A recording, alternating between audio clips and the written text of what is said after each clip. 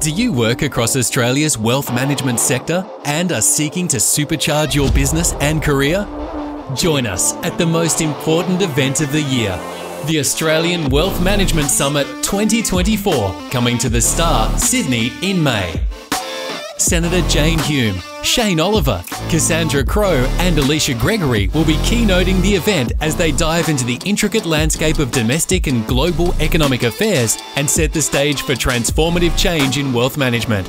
Learn from industry trailblazers as they explore opportunities and challenges in the wealth management industry, equipping you with the knowledge to navigate the complex marketplace. Visit AustralianWealthManagementSummit.com.au today to secure your ticket.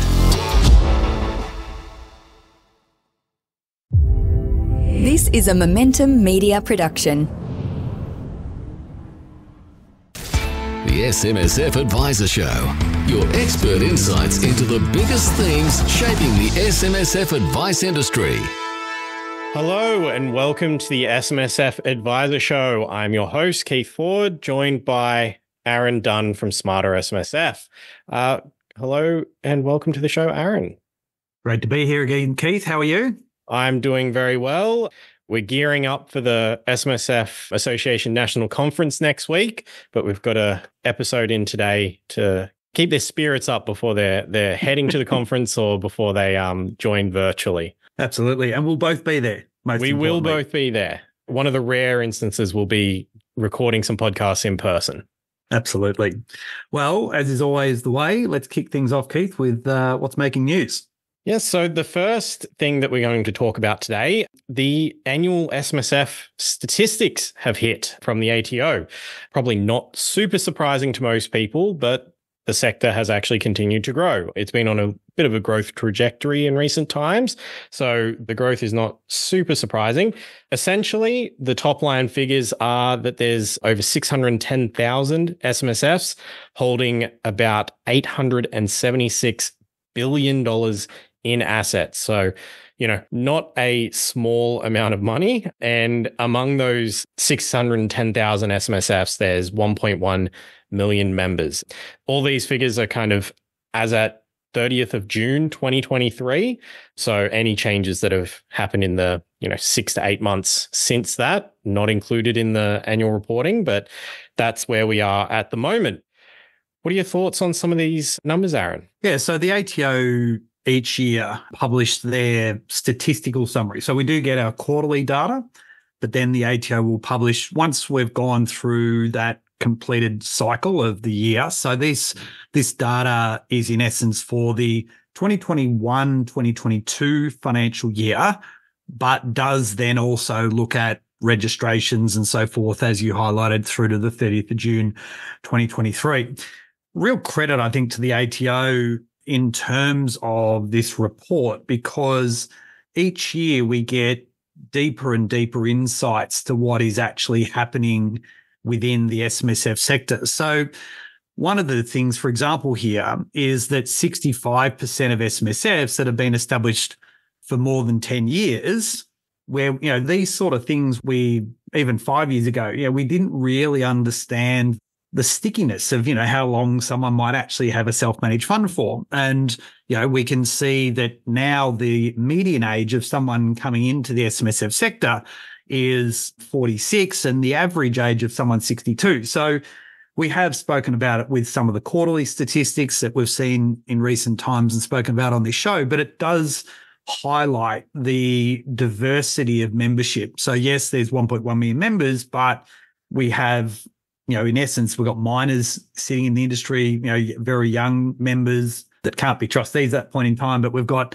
a much older demographic and the ATO has recognized that even in their data by, you know, splitting it out beyond 85, whereas historically they only used to split it out beyond 75 years of age. So a lot of, I would be saying to practitioners generally is, is take the time to try and look at, observe, some of the data and what it means because it actually starts to highlight some important issues and what some of the, I guess, trends are in, in certain areas and what you might be doing and can benchmark against what is happening in the marketplace more generally. It not only looks at the trustee market, the member market, but it also looks at service providers and the fact that, you know, we've got the audit profession here and the, and the number of audits that are being done and then the number of tax agents and the, you know, the average numbers of audits and, and tax returns that are being prepared. So all these things, you could literally just sit here and talk for an entire show and breaking down those numbers. But there are a number of these things that I see as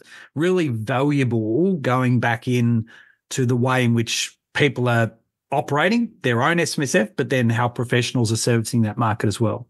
Absolutely. And it, you know, you can look into what the percentage of assets that are held in different investment types, you know, how much are listed shares, how much are property, all of that kind of stuff, how much are in unlisted trusts and everything along those lines. So there's a lot to kind of dig your teeth into if you want to have a have a look through the numbers and really figure it out. Yeah, and a really good example of this is, you know, there's been a lot of discussion about the benefits of corporate trustees. So that number has continued to grow and it's now up to about 68%. But when you look at it in the context of brand new establishments, it's nearly 85% of all new funds now have a corporate trustee in place.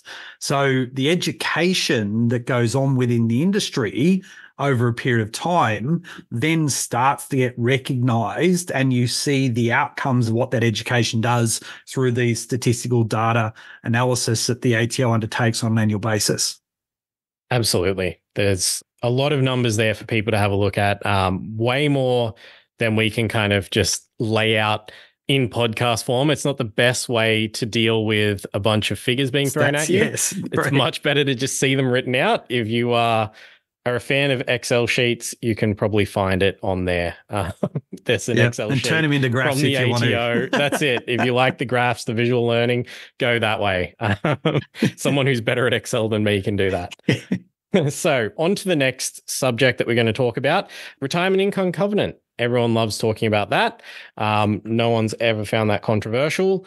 Um, the Institute of Financial Professionals Australia, the IFPA, they, for instance, have called for the government to exclude SMSFs from the RIC. That was in their submission to Treasury to do with the retirement phase of super consultation that's going on on the back of a discussion paper. Long story short, they want to make sure that SMSFs do not get included into the um, retirement income covenant. What are your thoughts there? And uh, I guess a bit more broadly on the RIC, Aaron. Yeah, so clearly the view here is is SMSFs have a far more compliance based approach, whereas we look at APRA funds and they have a far more prudential regulatory approach. And the framing of the retirement income covenant so far, to what we understand, clearly has a far more prudential overlay to it. And in some respects, which is why we did see SMSFs excluded, is we'd be trying to fit a round um, peg in a square hole.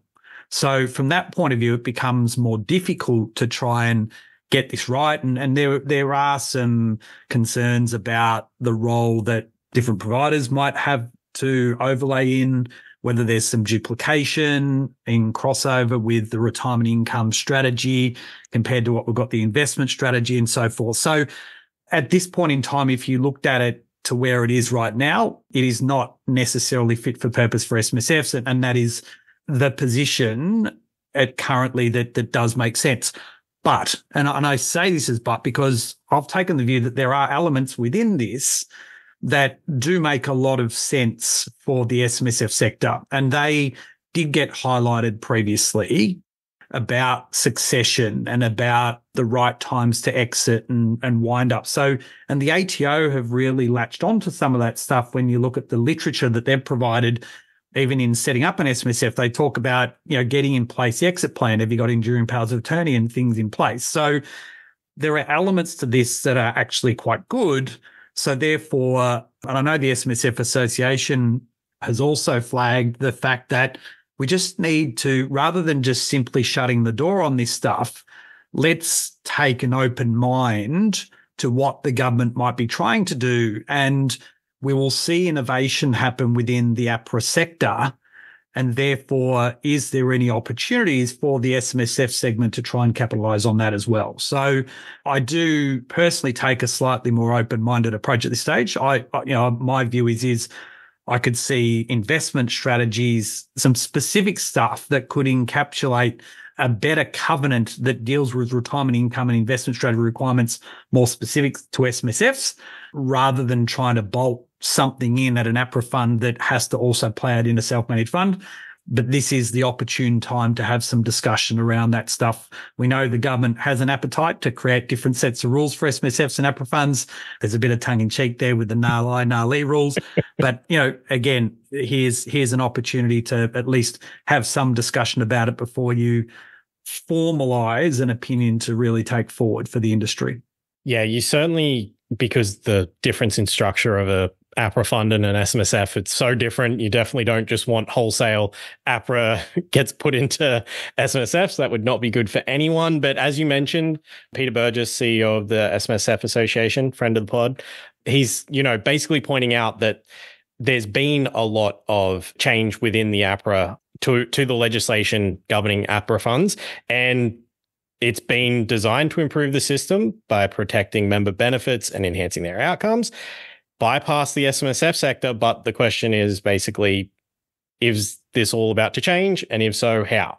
That's paraphrasing what Peter was saying, but basically, there's been improvements that have come from these legislative um, changes in the APRA section, such as you know performance benchmarking, statutory reporting, all of this kind of stuff that has actually benefited members. So when it comes to the changes that are maybe being suggested for the SMSF sector, maybe just keep a little bit of an open mind. Don't just reject everything yeah. out of hand, and you know just yeah. try and see where the positives could be for the sector, I guess. Yeah, you don't, you don't want to throw the baby out with the bathwater, basically. So if there is some good in there, let's try and work out what that is and and how it might have a positive impact on the on the sector going forward. So that's right. And yep. you know, I'm sure many people within the APRA sector of the um, industry were probably anti some of those changes, and you know, sometimes the people within it uh, don't see where those positives are going to come down the line. But, you know, sometimes the government doesn't see where the problems are going to come down the line. So it goes both ways. Yeah, correct. Absolutely. Absolutely. And we only, so I mean, ASIC, ASIC did a report late last year into the implementation of the retirement income covenant across APRA funds. And I think, you know, the response and the outcomes of that were quite underwhelming. So it does present an opportunity for the government to revisit it. And therefore, they're rightly also saying, well, yeah, can SMSFs have a role in this piece as well, given that, you know, we do have 1.1 million members and it will continue to grow as a sector in its own right. Absolutely another consultation. Um, there are about a million of them ongoing at the moment, a lot within financial services more broadly, not just the uh, super space, a lot within financial advice generally that I'm sure a lot of our listeners will be aware of. Another one of those is to do with the Tax Practitioners Board and the sanctions regime. There was a, a submission to the consultation on that by joint bodies essentially it included you know SMSF Association, CAANZ, CPA Australia, FAAA, IPA, a couple of others in there. That's how many there were. I, I can't even name them all. Basically, looking at the, the sanctions and saying that it needs to be robust to deter misconduct. Yeah, and and ultimately here again, as you said, this is an opportunity to and collectively, I think, as you rightly sort of started mentioning all those names and didn't, I think finish. I missed like four. yeah. So, but, but again, this, this is a really important piece that when you go to government, the more unified the voice, the stronger the voice becomes. And clearly what they're saying here is that there are some gaps that are of concern in the way that sanctions are available to the tax practitioners board.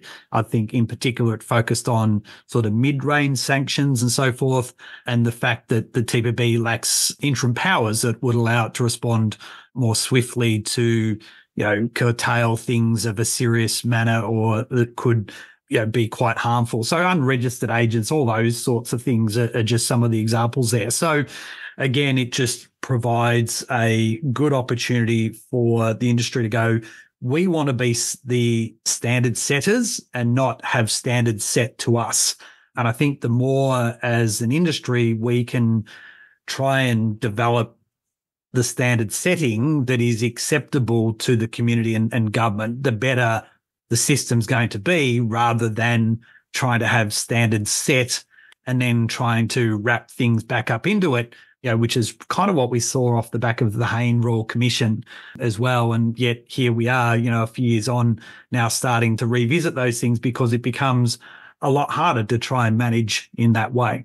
Yeah. And, you know, it even the the submission includes mention of the um Australian Law Reform Commission's report yep. about the Corporations Act, essentially about financial services legislation. And essentially, for anyone who's not familiar, that report found that I think it called the system porridge in how convoluted it is. Um, yeah, I'll um, give you I'll give you a better one. They called SMSFs misfits. Misfits. There we go. So, so there, there, was yeah. a lot of strong language within the um from a bunch of judges within the ALRC who put together that report. It was a long time coming. I think about four to five years they've been mm. working on it. it. It did not paint a pretty picture for the um Corporations Act as a general instrument. Yep. And basically, what the joint bodies are saying in this to bring it back to the TPB is essentially they don't want the TASA to get to that point, the Tax Agent Services Act. They don't want it to get to that point that it needs this massive review by the ALRC. So if we're going to embark on reform to the sanction and enforcement powers, do it properly and get it done right this time. And so that you know, when you open up the submission from the joint bodies, there's an entire page that is just association logo, name of the person who contributed from the association and their signature. It's an entire page that it takes yeah. up just to be. So it gives that idea of how unified a voice all of these associations are bringing to try and make sure that they're in some way setting the terms for how this will go, trying to show, you know, we have taken this very seriously. We're all coming in the same direction. This is what we think should happen. Yeah. And as I said before, the, the more that you get the unified voice there, the more that the views of all parties are being considered and, and the ducks actually are lined up. So if you've got ducks lined up, then it should become a much easier path for the government to try and hopefully get an outcome that works for all parties. Absolutely. Right. Well, that's everything from the news section of the podcast today. We're going to take a quick break. When we come back, we're going to be talking about trusts with Matthew Burgess from View Legal. Welcome back, everyone. We're now joined by Matthew Burgess, who's the director at View Legal. We're going to be talking about all things trusts. Welcome to the show, Matthew. G'day, Keith. Thanks for having me on.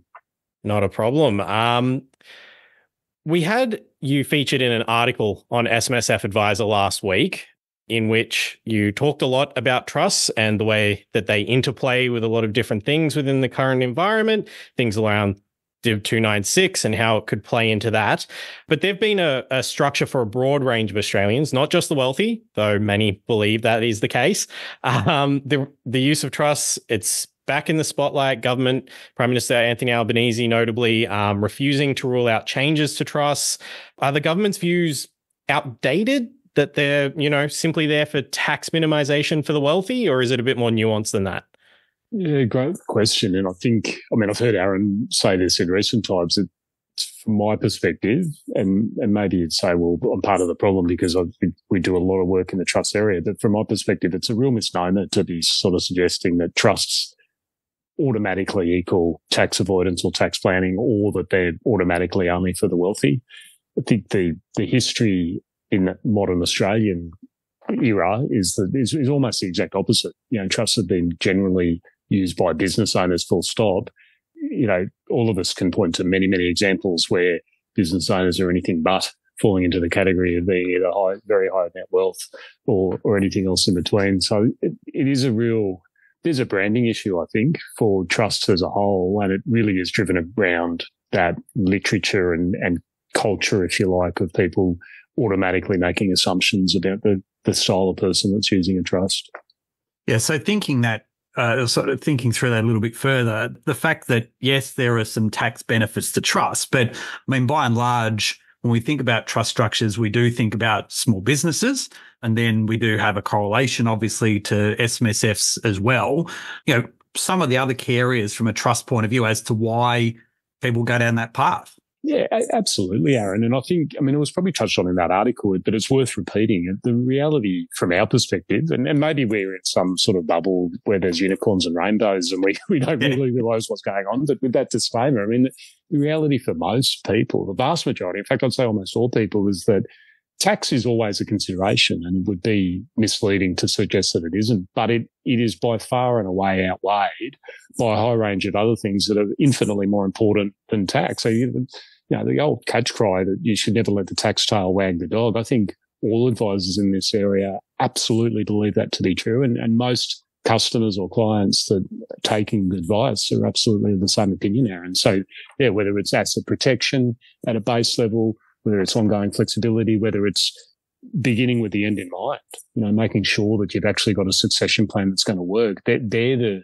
you know, if you're looking for two or three key drivers for people getting into trusts, it'll be those three and tax would be a long fourth. Yeah, and, and that hasn't, I think, as you said before, that hasn't really changed over time. So trusts are not something that have just come onto the radar, even in Australia recently. You know, they've been here a long time and they've been overseas a hell of a lot longer. So those principles have been one and the same for much longer than we've been on this planet. Yeah, and I think about, I, I, agree with you strongly. And I think if you look at it through those lenses, it probably does explain why they've just remained because, you know, this isn't, it's what Keith was touching on. I mean, this isn't a new thing that the Treasury slash government are wanting to have a shot at trusts. And yet trusts continue to just keep on keeping on. People keep using them, keep having it as a preferred investment structure. And so you need to actually, I think, step back a little bit and ask yourself objectively, well, why is that so? You know, why have they remained a go-to structure? And the reality is exactly what you just said, that mm. the underlying flexibility, the inherent focus on succession planning makes the structure robust and counterintuitively, and, and, you know, probably the powers that be don't want to hear this. I, I think that my sense of things is no matter how hard they try to attack them from a tax perspective, it will actually further entrench people's desire to be using trusts because it's one of the key advantages that they retain that flexibility and they retain asset protection and they retain ongoing succession planning. Yeah, and and it's probably fair to say when you logically think through it. I mean, the government, you know, in, in their roles, they don't necessarily. A lot of them don't necessarily understand the basis for what the trust might be there for. And what I mean by that is, is they might, you know, some of them have their own trusts, right? But they're there for investment purposes rather than for trading and operating purposes that have other inherent risks and stuff that are all relevant to that process. So the trust landscape is quite nuanced in terms of the way in which people might have a trust in place, which leads me then to this next question, because this is with the Division 296 proposed tax on high balances above the $3 million. Quite clearly, those that are going to look to restructure are going to contemplate either using an existing trust vehicle or maybe even establishing a trust to deal with it. And, and therefore, my question to you is, is do you feel that migration will probably occur in that way? Uh, and, and secondly to that, um, could that then potentially be part of the reason that the government's sort of starting to again throw out these little landmines around, you know, the way in which trusts might actually look at getting taxed? We've almost come full circle, haven't we? Because I, I think the one word answer to your question is absolutely. And the second order consequence of that answer is that because of how strong our structure trusts are, for all the other reasons we've already touched on from a commercial perspective, and because of what you said at the very, very start, which is this, this idea that suddenly the trusts are just evil. You know, trusts are effectively a four letter word from a treasury perspective that they just, it just derails very, very quickly. It becomes this irrational discussion yep. because trusts are by definition, you know, if you Google up trusts, the answer is, well, they're, they're evil. They're a force of evil. And therefore, as you say, it just very quickly derails. And because the things, the indicia or the, the items that will have attracted people into the SMSF environment in the first place. And, you know, you've been very strong in the marketplace in saying you know, a lot of people have been dragged into super generally, but specifically SMSFs under one regime. Yep. And now we're just being, the whole game's being changed on us halfway through the playing time. It, the only other structure that is even remotely as useful as an SMSF, including from a tax perspective, is a trust. Mm. And so it's, as you say, anyone that's getting even remotely decent advice is absolutely having to look at, to trust as, as really the only other palatable solution if they're having to exit an SMSF because of these rule changes. Yeah. And, and again, it comes back to all the elements that you said earlier. So yes, they're going to arguably be in a, a similar maybe slightly better, maybe worse. And obviously the unique circumstance of everyone's going to be different. But the fact that the trust structure would be in play there for, you know, potentially a quantum of assets moving from super into non-super means that you're starting to look at the succession post that individual. And the view has always been, well, this is a problem that's actually going to sort themselves out in the future because this generation of individual will die and all the money's got to come out of super anyway. But the reality is, is a lot of these people that are getting the advice right now will be actually thinking not just what happens today, but how are we going to be looking at this in five years, 10 years, 20 years time when I'm no longer here? I totally agree with you. And I think the big thing, and I hadn't actually thought of it until I was listening to you speak, Ben and Aaron, is that so I've just walked out of a meeting today 42 years old, about a million bucks in an SMSF. Like he is the kind of person that should be doubling down. He's got a young family, should be doubling down in SMSF. Guess what he's doing? He's turning the tap off. He's not even going to do his minimum contributions. Yep. And he's putting everything he was otherwise going to put into an SMSF into a trust because he just says, I've got, he said, I'm not that old, mm. but I've lost count of the number of radical changes they've made to the SMSF rules since I started putting, since I set up my fund. Yep. So even though he's nowhere near the $3 million cap and, and it may take him a number of years to get there, he's actually already made the decision that SMSFs are not for him because there's a complete lack of trust in, in the whole regime. And so that's, you know, the hidden consequence, I think, because it's quite easy for people to call out the air quotes rich people that have already got the 3 million, blah, blah, blah. But the reality is that it's actually having a material impact on people's decisions right now that, that, you know, the propaganda is telling us, oh, well, no, it's not affecting anything else. It's only the rich people. Well, no, it's not. Here's an example from today where someone's actually opting out of the SMSF environment because of the, the fact that they have no trust at all in what it's going to look like over the next 10 to 15 years. Yeah, and it's it's quite fascinating when you say that because it goes entirely against the grain of what they're trying to achieve in the objective of super, which is actually giving Correct. enough aspiration for people to be able to save and and live a dignified retirement. So for someone like that, their concept of a dignified retirement will now actually contemplate, you know, utilizing a, a multitude of structures to be able to achieve that. Historically, we've seen a lot of people go through and in particular, the baby boomers have gone through and accumulated through super and used that as the vehicle. And, but I think we're going to see more and more and more a greater level of diversification across structures for them to get to where they want to get to.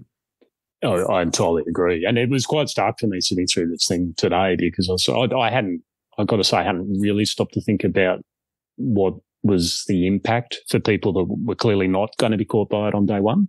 Yep. And, and, you know, what, what did I say? It's N1. I've got a, a, test group of one. But, you know, it was hard to argue with it. Like, I, I, certainly didn't have an argument to suggest why he should be still trying to get into an SMSF or still trying to invest into his SMSF because he said, well, from a succession planning perspective and from a tax planning perspective and, and from a flexibility perspective, like why would he be wanting to lock anything up for another mm. 20 odd years, given the radical changes that he's seen in the last handful of years? It does kind of, um, it jumps out that, you know, people who go into SMSFs, they are by nature, I guess, willing to put a little bit more effort in to their retirement because it's much more involved than just having it sitting in an APRA regulated fund.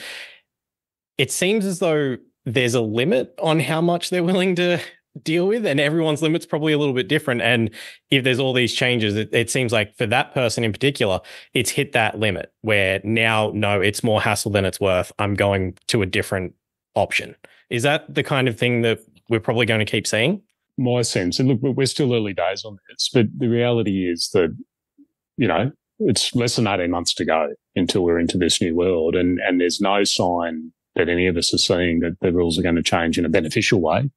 Maybe mm. it even become worse. And I, I, think you're exactly right, Keith. And I think if you are talking back to Aaron's point, if you are talking about the baby boomer generation, and they've got the added issue, the tax officers now come out, you know, very, very bluntly uh, as to what their position is on fast death tax for SMSF. So in other words, this idea that if you, if you've got, if you're a baby boomer and you don't have any tax dependents left, then you've, you've got the added time bomb. Not only have you got the $3 million issue, but you've also got the issue that you, are potentially going to effectively pay a, a death duty if you've got money in there at the date of death as well. So I think the combination of those two issues are very much going to stay on the agenda. And, and the reality is, and this is, you know, it's part of the reason I think the industry as a whole, but me in particular, I'm not speaking any more widely, are so disheartened with the way this is all playing through is that, you know, tax advantages were just shown, you know, that they were a huge carrot that was put in front of everyone to get into SMSFs. And now you know, without any fanfare that they're just so basically just attacking that tax benefit. And therefore, as you said, Keith, meaning that people really, when you do your old pros and cons list, you know, tax has suddenly gone from being a real pro in an SMSF to being a real con. Mm-hmm. And and then when you then go through all the other factors that Aaron's taken us through, we're, we're suddenly back into a situation where we're saying, this is all just too hard got no trust in the process. Or, or I do know, as Aaron said, that trusts have been around for as long as Australia's been around, and they actually seem to get stronger the more the regulatory authorities try to attack them. Yeah, and we can probably overlay all that, which we don't have time for today. But the fact that we've got marginal tax rates that are adjusting at that lower end. So, you know, there will become points in time from, in particular, that death benefits issue that you flagged before, where you go, well, look, 16% at a marginal rate versus 15% in the fund, if I can actually manage that risk and pay a 1% penalty for that, that might be a better outcome too. So yes, I think there's a lot of levers here that advisors need to be thinking about. And maybe the final question here um, you know, what do you think this actually all means for advisors and, and, you know, the conversations that advisors should be having and, and the conversation you're actually having with advisors around some of this stuff? You, know, you, you probably heard me say this before. Our business plan, which we're happy to share with others, it seems to be working pretty well, well as uh, one word. And that one word is trusts.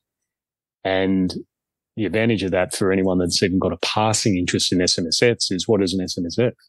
Yep. Well, it's, it's simply a form of trust. Yep. So I think from, you know, if you're looking at it purely, if you're an absolute purist in terms of SMSF advice, then I, would still argue that this is still well within your realm. SMSFs aren't going to disappear, no. but their utility are absolutely in the spotlight. And I think that it's, as long as you've got an open mind about how you deliver your advice in this space, you know, counterintuitively, given all the things we've discussed, I mean, this is a it's an absolute dream for any advisor in this area. None of us are going to be out of a job anytime soon. No, absolutely not. it's now, you know, is that actually good for the productivity and advancement of our country? Well, well, that's a separate question. But in the meantime, you know, what, what these changes do and the constant white noise, even if they don't actually bring in any changes to the trust regime, but the constant white noise around it is that people are just going to be even more attached to making sure that they're getting quality advice. Absolutely. And do you have any other kind of final thoughts to cap us off with um, around the the trust issue? As Aaron said, we could devote a whole number of programs to this, so I don't want to open up further concerns when I, when it's such a busy time of the year for everyone. The one thing I would flag is that, and I know this has been a real issue in the industry for other reasons, but I, there is a an everyday boring compliance style issue that probably people do need to be aware of. And that is in relation to actually having the original source documents for whatever structure you're going to use. Now, you know, there are generally ways to manage that with an SMSF. That is not the case with trusts. You know, it's a real issue. If you don't have the wet signed original trust instrument, it, it's a huge issue. And we're seeing from a bank and know your client perspective that that has become an enormous problem for everyone in the trust world. So I just encourage people that you know, it's all very well to say we're all going to be busy and we've got all this advice we've got to do to help people. But the, in the trust space, those basic compliance issues are fundamental and unavoidable. Mm. And, and I guess equally is the case, uh, here, Matthew, as well, where the, the older the trust, uh, the more difficult it might become to find and, and the more difficult that it might be to try and fix uh, in in certain positions as well. Yeah, absolutely. And and as you say, then again, you've got this second and third order consequence stuff. So you know, let's just say you, you haven't lost the trust, but unlike SMSFs, there's a hard end date for, well, other than in South Australia, but everywhere else, there's a hard end date for the trust. And quite often that end date will be a lot earlier than what you might have otherwise assumed. So traditionally 80 years, but it can often be quite a lot less than that. Yep. And so again, these are all issues that as an industry, we're just going to have to be in front of the game and, and helping people manage them. Awesome. Well, thank you very much for your time today, Matthew. It was great having you on the show. Likewise, great to speak with you both. Thank you. All right, we're going to take another quick break now. We'll be back shortly. Okay, we're back now. Just myself and Aaron. Um, Aaron, what jumped out to you from our conversation with Matthew there?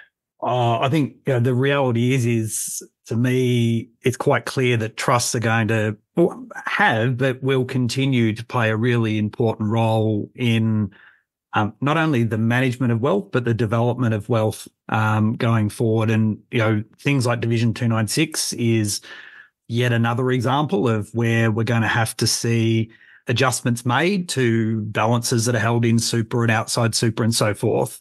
And the reality of that is, is that the trust structures are the ones that people will look to. And yep, there might be some utilization of tax benefits there.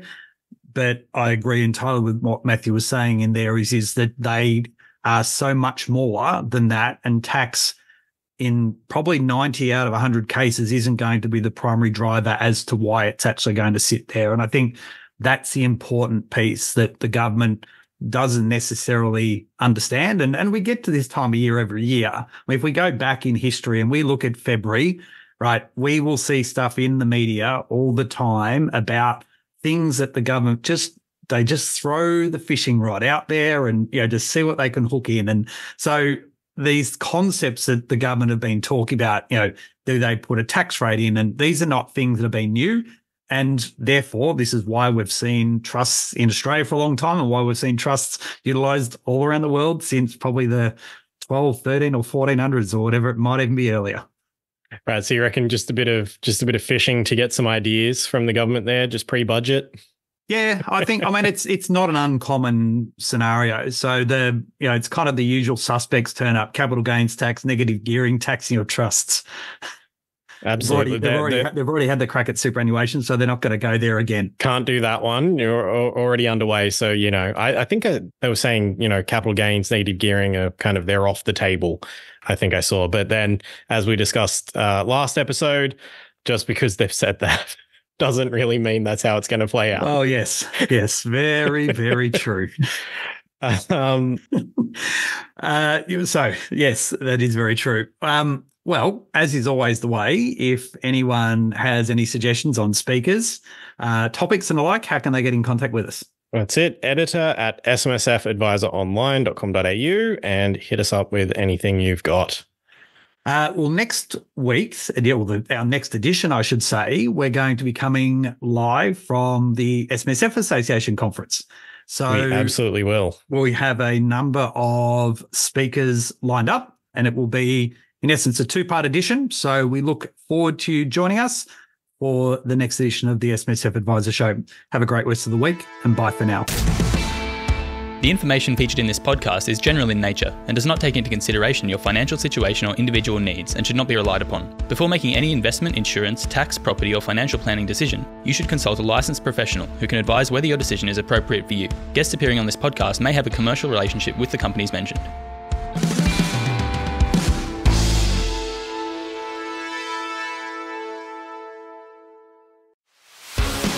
Feeling trapped by rising interest payments? Escape from mortgage prison with expert refinancing assistance from Finny. We have helped hundreds of borrowers break free from higher loan repayments by finding a more suitable loan. Our expert team can quickly assess your situation, and if there's a better lender available, we'll find it fast. Don't delay, call today. Speak to a Finny mortgage specialist on 02 8866 2444 or visit our website at www.finny.com.au.